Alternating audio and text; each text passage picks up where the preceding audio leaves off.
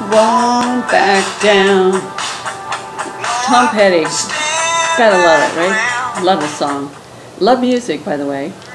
Put it on a little low in the background, but um, love jazz, love everything. Just about everything. Um, anyway, I can stand my ground. Right. And what am I talking about? I'm talking about passion and painting with passion. So, because I painted a piece this week that was not passionate because I didn't like the imagery behind it. It kind of is weak and wimpy, and it was um, just an advertisement I saw. The guy kind of looked like Ben Affleck, and so here it is.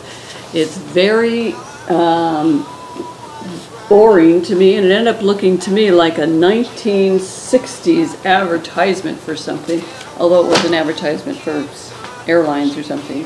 Um, I just went, what happened? No passion. That's why I had no passion for the imagery.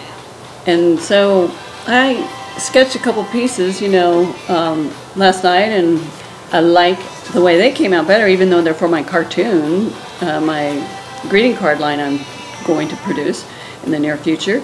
Um, I like their imagery a lot better. I love the little girl in the pink and their little tutu, and the sassy one too. Not sure what I'm going to do um, with both of them as far as what they're going to say on the greeting cards or if I'm going to leave them blank. But I have more passion about these little puppies than I did um, this other guy over here.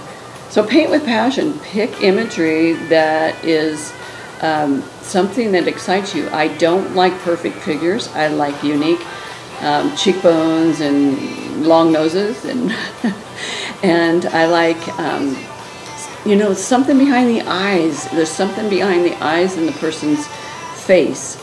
Or if it is a side view, you know, there's got to be something going on, like the girl's little tutu thing in her hair, or the thing in her hair, feathers. Um, I liked uh, her playfulness in her piece, you know, her fingers, you know. I loved that about it. So when I choose a piece now, no more trying to find just this figurative stuff that I need to practice. No, I'm not doing that. I'm going to paint things that, you know, get me excited. Like as soon as I see it, I go, I'm going to paint that. And uh, so hopefully from now on, when you see the rest of my pieces, they're going to have a little bit more of that going on. Okay? So you paint with passion too. Have a good day. I won't back down.